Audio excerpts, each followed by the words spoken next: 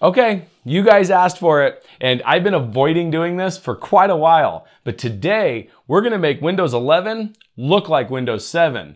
There was a lot that I had to figure out to make this worth doing. That's because this is not simply going to be a start menu replacement, but we're gonna get Aeroglass working in Windows 11.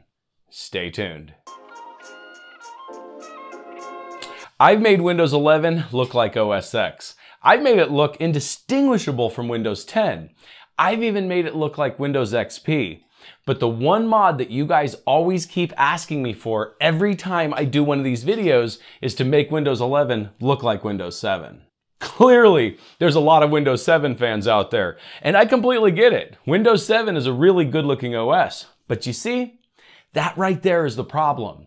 That's exactly why I haven't done it. These videos are not simply start menu replacements. I try to legitimately make Windows 11 look like the other operating system. In fact, to the point to where if someone sits at your computer, they would think you're running the other operating system. However, to do that with Windows 7 requires one thing that I've never been able to achieve before, and that's Aeroglass. When Windows 7 came out, it had a revolutionary new theme that used a combination of three-dimensional accents with transparencies known as Aeroglass. Unfortunately, with Windows 10, Microsoft flattened the operating system down and took away the transparency effects. Getting them back wasn't easy, and I really hope you guys appreciate this because I spent days and countless hours trying to make this guide easy to follow and look really good. This took multiple different experiments that mostly turned out like trash, but eventually I think I really nailed the look. But first, before we jump into it, we gotta pay some bills, so check out today's sponsor. Is your copy of Windows 10 unactivated? Well, it doesn't have to be because with today's sponsor, VIP SCD Key, you can get a valid Windows 10 license for under $20. Stop dealing with that stupid watermark on the desktop, the valid license for Windows 10. Also, with an activated copy of Windows 10, you can upgrade to Windows 11 for free. Just go to the link in the description below and pick up a valid Windows 10 license key. During checkout, use the code CYBERCPU for a 25% discount. Once you have your key, go to your activation settings in Windows 10 and click on the link that says Change Product Key. Enter the product key you just purchased and hit Activate. Now you don't have to deal with that stupid watermark that come with running an unactivated copy of Windows 10. Now, on with the video. Okay, with that out of the way, let's make Windows 11 look like Windows 7. All right, here we go. We're in a default install of Windows 11. This is about as default as you can get. So if you look, if we open up File Explorer here, you'll see that Windows 11 does have a unique theme. And this is unique to Windows 11, and you guys all know this theme by now, but it's got the rounded corners, but it's a really flattened down operating system. It's not like Windows Vista and Windows 7 was, where it was a real three-dimensional look. And this flattened look kind of started around Windows 8 to Windows 10 era. And, you know, this is one of the reasons that people like Windows 7 is because Windows 7 is a more 3D looking operating system. So the first thing that we're going to do is try to kind of get some of them elements back. And to do that, there's going to be several programs that you're going to need, but we're going to start out with one to give us the transparency effect here in our borders of our windows. So I'm going to go ahead and close this. And for that, we're gonna need a program called Mica for Everyone. You can pick this up on GitHub, and I'll have links to all of the programs that we're gonna be using down in the description below. So to download this, just go ahead and click on latest. And then from latest, you're gonna scroll down. You wanna download the release installer. So it's gonna be the first one right here. So we're gonna click on that and it's gonna download. Just go ahead and hit keep in Chrome if it gives you any errors. We're gonna go ahead and let it install and then we're gonna show it in folder here and we'll go ahead and minimize our browser here. And we're gonna go ahead and set it up. And setting this up, go ahead and just click install for all users or only for you, depends on what you want. I'm gonna go ahead and hit yes to user account control and go through the regular setup process. And then once it sets up, once you go to launch it, it's going to ask you to install the .NET Core, which if you don't have it, you're gonna need to install it. So go ahead and hit yes, and it should take you right to the website. And then from there, it should download it automatically. We're gonna go ahead and click on it here Go ahead and install it real quick. And then from that point, we're gonna minimize our browser again. And then once that is installed, you have to actually start the program now. So if we click on the start button, you can see right here in Windows 11, it has it as recently added. So we're gonna go ahead and start it real quick. And once it starts, it should start automatically down in the bottom right here. So once it's open, then you go ahead and click on it and you get the settings right here. So for these settings right here, obviously you want it to run at startup. You don't wanna have to launch it yourself every time. And then from there, we wanna go into these rules right here. Now, the way this program looks like it works is if you set up a global rule, then all the other rules, as long as they're set to default, should follow. But I've found that that isn't actually the case. This is actually a really buggy program, but it's the only one I could find that could give us the effect that we want. So if we go to global rule, the title bar color, you're just gonna wanna go ahead and click on dark. And then from there, for the backdrop type, instead of mica, you wanna go to acrylic. And then for the corner mode, the default corners for Windows 11, obviously you know that they're the rounded corners, but Windows 7 also had rounded corners, but they weren't as pronounced. So for there, we can go slightly rounded to give us slightly rounded corners. And then at this point, you go through all of these other settings down here and you set these exactly the same as you did back then. And now as I'm setting them, you can see that it's changing on our other window right here. So if we go to corner mode, we go slightly rounded, it kind of changes the corners to be more like Windows 7 with the, just the slight roundness. And then MS Paint, we're gonna do exactly the same thing. We're gonna go to dark, we're gonna go to acrylic and we're gonna go to slightly rounded. And then console window class, you don't have to worry about that one. You can leave that one default. And then from there, we can go ahead and close it. And then as you can see, we have the translucent effect inside of our windows. You can see the background kind of shining through the top bar in the window right here. Okay, now that we have our translucent top bar right here, what we need to do next is move on to making our taskbar and start menu look more like Windows 7. Obviously, it's obviously Windows 11 right now. So to do that, I'm gonna go ahead and close this window here, and we're gonna start playing around with our taskbar right here. So the first program that we're gonna need is a program called Explorer Patcher. Now I've used this one before and I've had it in videos before, but it hasn't been updated in a while. It was updated in April, and unfortunately there are some bugs in it, and they're well aware of the bugs, but unfortunately there's no fix for them at the moment. However, I'm gonna kind of show you how to get around them to get it to function correctly. So if we click on latest right here, we're gonna scroll down and we're gonna pick up the latest executable right here. Go ahead and download it. And if you want, get hit keep in Chrome right here. Chrome may give you an error. And then from there, go ahead and run it. We're gonna hit yes.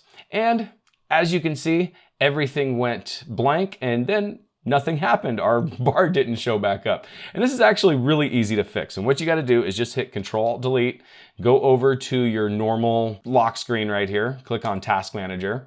And then once Task Manager opens, you wanna scroll down to Explorer on the list right here, and it's probably gonna be close to the end of the list. But once you hit it, click on Explorer and then hit Restart Task. And then once you restart it, it should fire up and show you your taskbar again.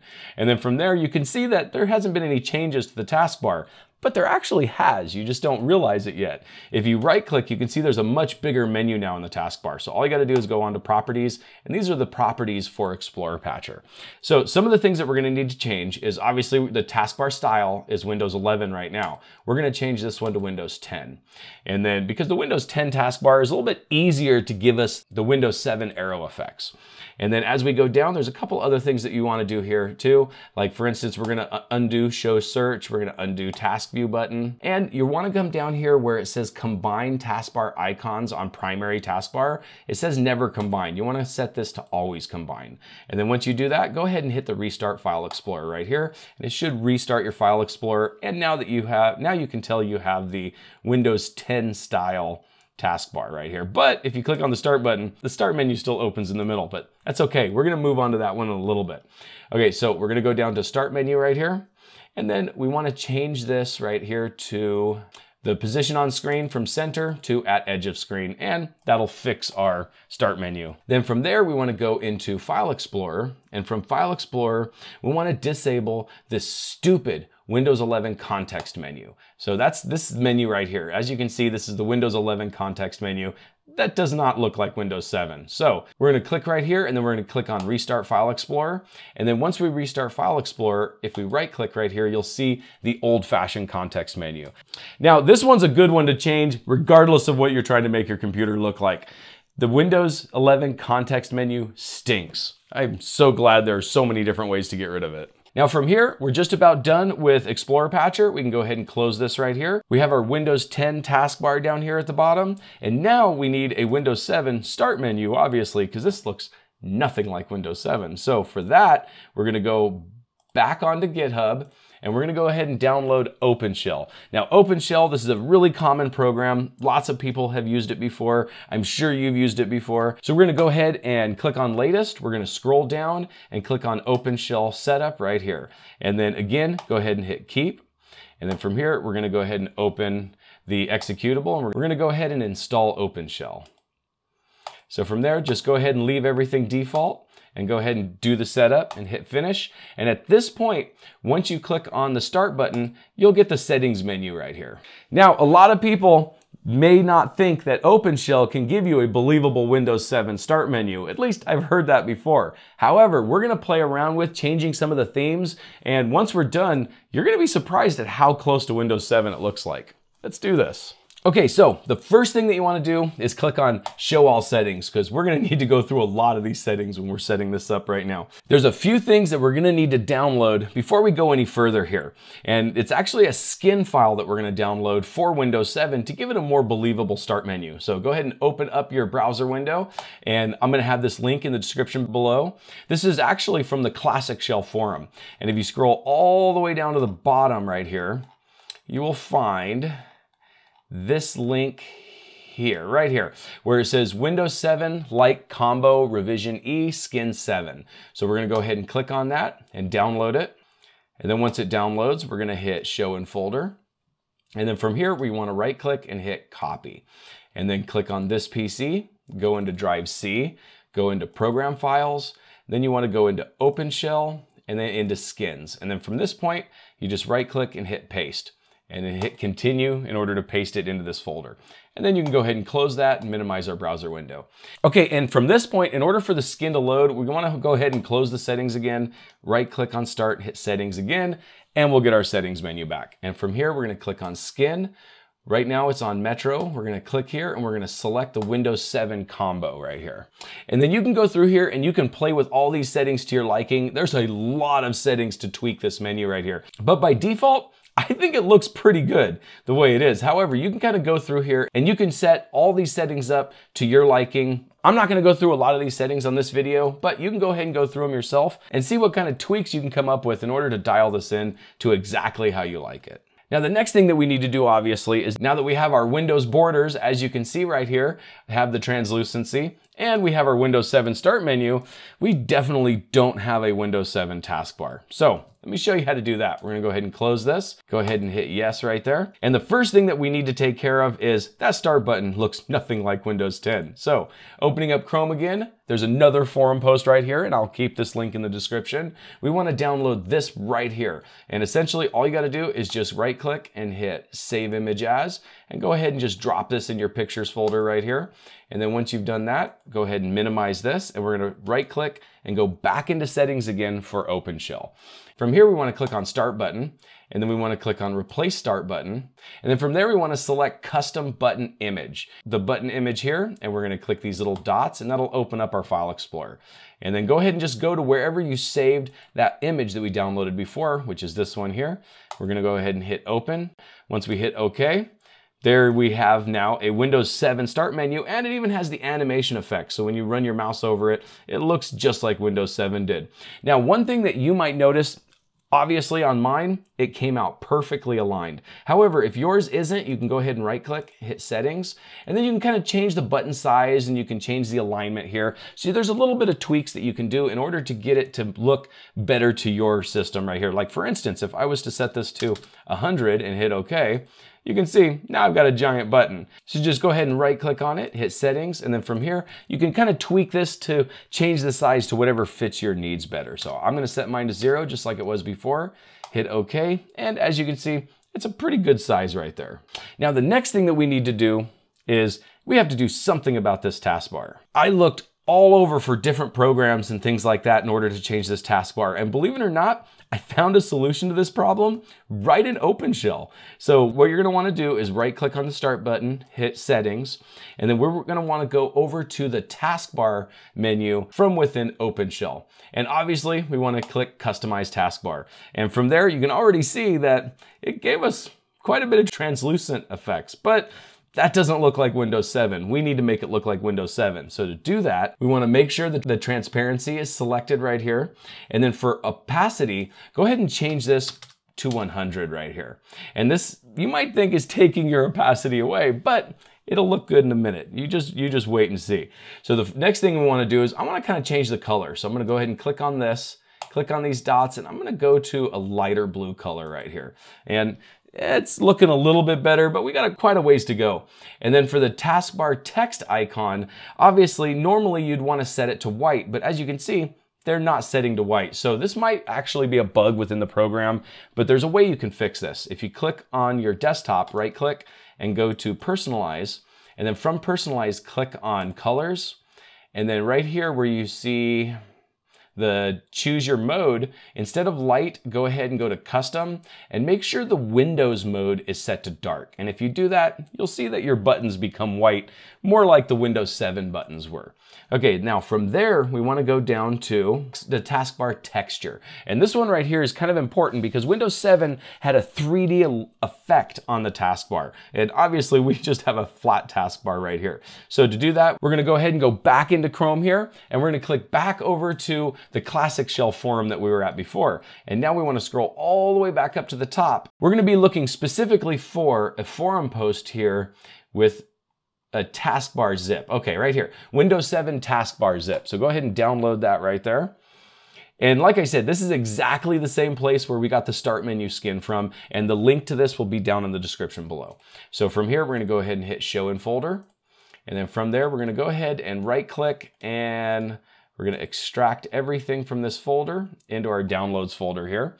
And if you go in here, you're going to see that you have several different folders. Now, what we're going to be looking for is taskbars for Windows 8.1, believe it or not, because honestly, I think they look the best to Windows 7. The Windows 7 taskbar skins, really, they look good, but they don't fit the look like I wanted it to. So we're going to go ahead and close these right here. We're going to go back into these settings. And for the texture, we're going to click on these little dots right here.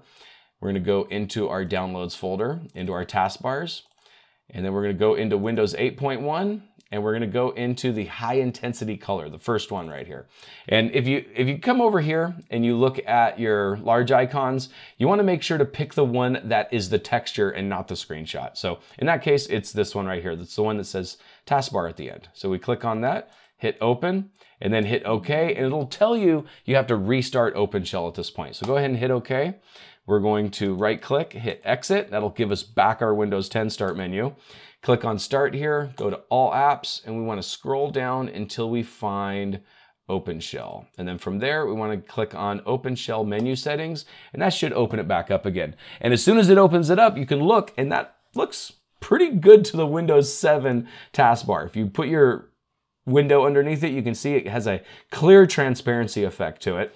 And if you want to take a look right here, we're going to go ahead and click on this texture, and I'm going to pick one of the actual Windows 7 ones that it has in here. So if we go into our Windows 7 one, and we will do, let's do this taskbar with reflection here.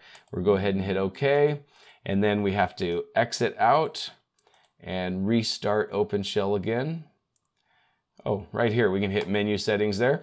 And as you can see, it does give you a Windows 7-like menu, and you can kind of see these little effects here, but personally, it just didn't fit the look for me. I, I liked the other one better. So I'm gonna go ahead and quickly go back to that one real quick. All right, and there we go. So now we're starting to look a lot more like Windows 7. We've got the transparency effects within our borders. We have the transparency effects within our taskbar, and we have a pretty decent looking Windows 7 start menu. But we still have Windows 11 icons everywhere we look. So the way we're gonna fix that is we need a Shell 32 DLL from Windows 7. So for the Shell 32 DLL for Windows 7, I highly recommend you source source that one from a Windows 7 install.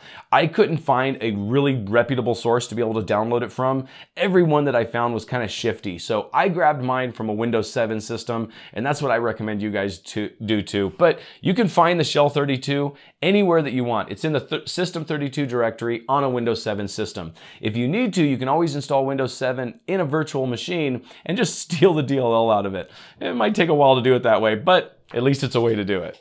But either way, once you get your Shell 32 DLL, so I'm gonna go ahead and grab mine real quick. I've got mine inside my documents folder right here. And I'm gonna go ahead and copy that one. And I'm gonna throw this one onto somewhere on my system. I've got a temporary folder here on my C drive, but you can throw yours wherever you want. I'm gonna right click it and paste it here. And now make sure what you do is wherever you get your Shell 32 DLL, you wanna rename it. You can't leave it spelled Shell 32 DLL or otherwise Windows will confuse it for the one for Windows 11. And you need to leave the one for Windows 11 in place because it's important for the operating system. So once you find it, just right click, go ahead and hit rename. And I rename mine Shell 32 Win7 DLL. You can rename yours whatever you want, as long as you remember what the name is. And then once you get this DLL in a folder on your system somewhere, go ahead and close this. And then we're gonna go ahead and try to play around with some of our icons. So right click on your desktop, hit personalize, and then from personalized, we want to click on themes. And then from themes, you want to scroll down to desktop icon settings. And this will give you your settings for your specific icons. So we're going to go ahead and click on our folder right here. We're going to hit change icon and I'm going to hit browse and I'm going to go to C drive, Cyber CPU, Shell 32 DLL. And then from there, these are all the icons that you would find in a Windows 7 system. So we're to go ahead and click on our recycle bin full and we're also going to change the recycle bin empty, and it's the exact same process. You just go through, go to your C drive, go to wherever you saved the DLL to, and click on your icon there. And that's it. And then once I hit apply, I'm not going to do it yet, but once I hit apply, you'll see right now you have the Windows 11 recycle bin. And then I'm going to hit apply and you'll see it'll change right there to the Windows 7. And as you can see, there's some trash inside of it. So if we right click and we hit empty recycle bin, hit yes, there you go. There's an empty Windows 7 recycle bin on your desktop. Now, if you want to do folders and things of that nature, you can always, I'm going to go ahead and create a new folder here. And as you can see, that's obviously a Windows 11 folder. You can right click on it. You can go ahead and hit properties, go to customize and click on change icon. And then from there, same thing, you hit on browse, go back to the folder we were at before, open the DLL file, and then you can change this to whatever folder you want. Look, like in this case, we're just gonna change it to a default folder, hit OK, and that'll give you a folder that looks more like Windows 7. Now, there should be a way to change all the default icons, for instance, like for all new folders and things of that nature.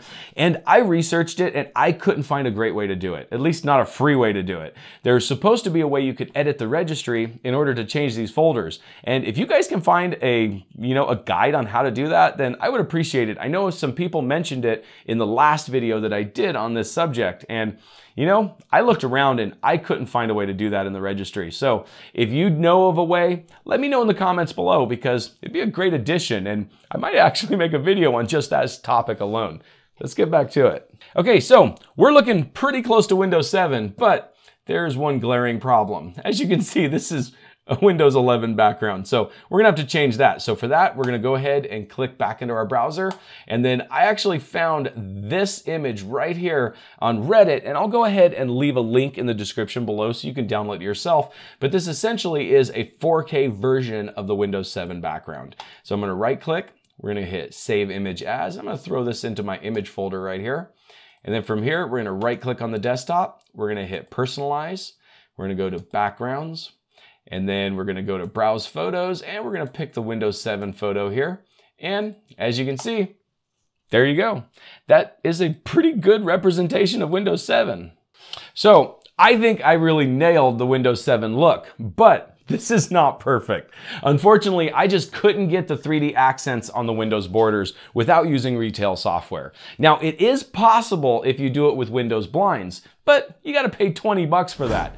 However, the whole point of these videos is to achieve the look for free, and I think we got pretty close. Let me know what you guys think in the comments below. And if you like these kind of mods, then check out this playlist here. I've done a ton of these videos and I'll probably do a lot more in the future. I had someone ask me to make a Windows 11 look like Windows 3.1 video recently. I may do that. As always, you guys have a great day.